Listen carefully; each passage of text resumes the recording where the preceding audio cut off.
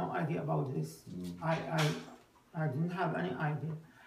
Uh, he just, you know, he's crazy and he's doing something and then he will wanna go on with killing. I have no idea about that Mm. because uh, how could I know I'm gonna be a victim and I go to the same place? After what he did to, you know, to, to I have no idea. I didn't hear that. Did you hear it to reporters or the police tell you?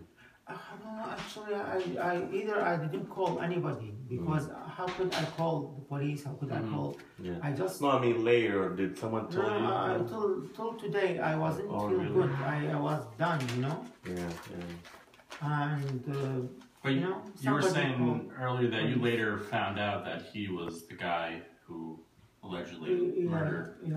And how did that make you feel once you found out that it was the same guy?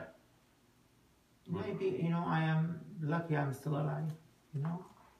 But either I have pain, I have broken uh, finger, you know.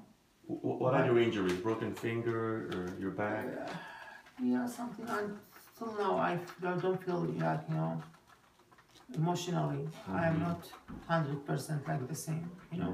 Yeah, yeah. Now I have phobia from street. I have phobia from common area. I have phobia. Do you bicycle every day? Um, almost, yeah, um, three times weekly, you know. Sometimes more, sometimes less. Yeah. You know, it depends upon upon how lucky much, to be alive. yeah, how much